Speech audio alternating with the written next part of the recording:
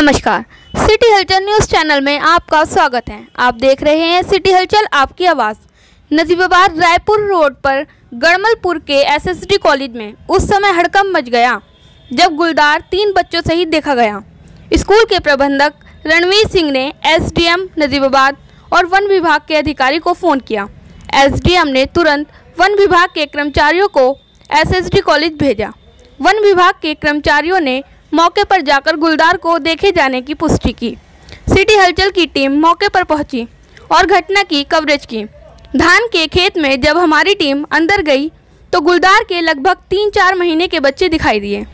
One विभाग कर्मियों ने आगे जाने से रोक दिया। कभी गुलदार आप पर हमला न कर दें। वन विभाग की टीम ने गुलदार दीवार के पीछे ईख में होने की जानकारी दी।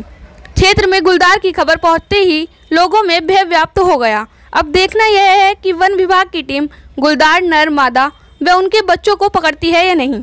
सिटी हल्टर से राजपाल सिंह चौहान जी के साथ में सोना कश्यप।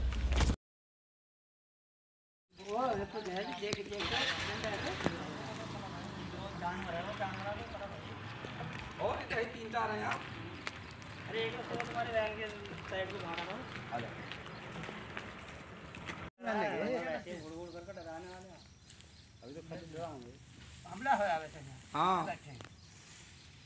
ऐसे ना हम। अब अब आप ज़िक्र मत करो साहब।